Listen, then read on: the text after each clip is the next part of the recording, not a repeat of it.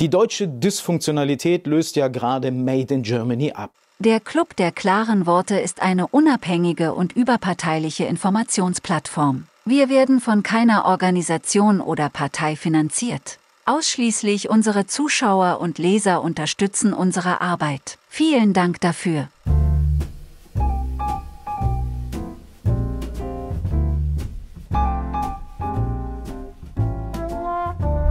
Guten Tag, mein Name ist Markus Langemann. Ich bin der Herausgeber des Online-Magazins Club der klaren Worte.de. Nennen Sie das Nachfolgende eine Polemik, nennen Sie es eine Kolumne, ich nenne es meine Meinung. Ich weiß nicht, wie es Ihnen geht, aber morgens um sieben ist die Welt noch in Ordnung.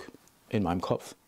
Wenn ich kurz danach aus äh, Morpheus Armen entlassen wurde, dann brauchte ich in der Vergangenheit zunächst meine Dosis Infosender zum Kaffee. Schlaf aus, Radio an. Aber das war zu einer anderen Zeitrechnung, lange vor unserer Zeit. Der Phasendreschmaschine Radio habe ich äh, schon lange den Stecker gezogen und wie ich hörte, geht es vielen Zeitgenossen in meinem Umfeld ganz ähnlich. Radio höre ich heute eigentlich nur noch an Tankstellen als Hintergrundbeschallung, während mich der Kassierer gerade ausraubt. Die Daily Dissonanz nimmt eigentlich schon beim Verlassen des Hauses weiter ihren Lauf. Gleich im Straßenverkehr wirken die Menschen wirr, seltsam wirr. Geschmeidige Autofahrer werden seltener, Rollerraser nehmen dafür zu.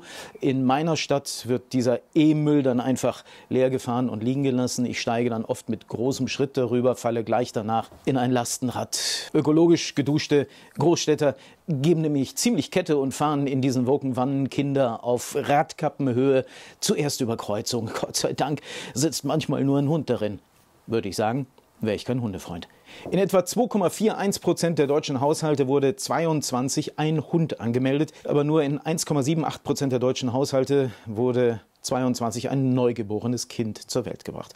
Aber ich schweife ab. Also trotz Fahrerlaubnis lässt die Kfz-Kompetenz merklich nach. Lenken ist nun komplett entkoppelt vom Denken. Mein Allianzvertreter stöhnte vorgestern, die Autounfallmeldungen sind mit Vollgas angestiegen, fast so rasant wie die Eigenheimversicherung mit Wasser- und Brandschäden. Dem muss ich mal journalistisch nachgehen, denke ich noch. Da sagt er, Zitat, wissen Sie, ich traue mich schon gar nicht mehr, die Angebote rauszuschicken. Die Hausversicherungen sind heute bei über 2200 Euro, Tendenz steigend. Trauen Sie sich, sage ich ihm, die kommen nämlich immer seltener an. Ja, an zwei Tagen der Woche hat die Post nämlich die Lieferung bereits ganz eingestellt. Der Rest des Zustellen ist eine Frage von Zufällen. Die Lesekompetenz in Afghanistan liegt bei 52 Prozent und entspricht damit in etwa der Lesekompetenz meiner gehetzten Amazon-Boten, die hier im Büro klingeln. Egal, wie so vieles in diesen Tagen in unserem Bürohaus, wichteln wir inzwischen mit verirrten Paketen. Ja, so bleiben wir wenigstens im Dialog. Hilfe zur Selbsthilfe.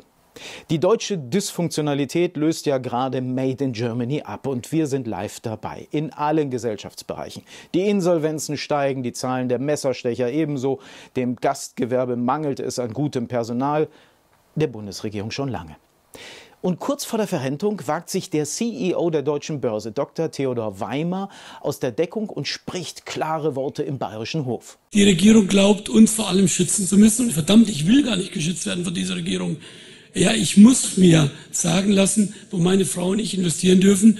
Und meine Frau, kluge Frau, nicht nur gut aussehend, ja, die macht eben auch mal Investments, ja, weil wir das unternehmisch für richtig halten. Und da muss ich irgendwie 40 Seiten ausfüllen, ja, und nachweisen. Und erklärt mir ein Banker, Herr Dr. Weimer, Sie können die Investments machen. Sie haben die Sophistizierung im Investment, Ihre Frau nicht. Das ist doch bekloppt. Leute, ist doch bekloppt. Willkommen im Club. Die anstehende Fußball-EM ist mir übrigens ziemlich gleichgültig. Ich hörte kürzlich erstaunt, sie findet in Deutschland statt. Hat mir auch der Tankwart gesagt, nachdem dort plötzlich traurige Deutschlandfahnen in Plastikeimern verkauft werden. Die kann man sich hier in Deutschland dann an die Fenster von chinesischen E-Autos klemmen. Schade, mit der Mannschaft kann ich mich nicht identifizieren, liegt vermutlich weniger an mir als an der Mannschaft. Wir schreiben halt nicht mehr das Jahr 2006. Und dennoch habe ich eine private Fußballwette für Freitag laufen. Ich möchte sehen, wie viele Spieler unserer Mannschaft bei der Nationalhymne textsicher sind.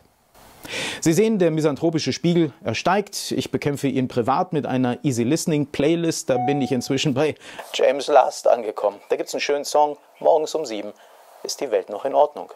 In diesem Sinne, bis zum nächsten Mal. Eine Produktion des Club der klaren Worte 2024.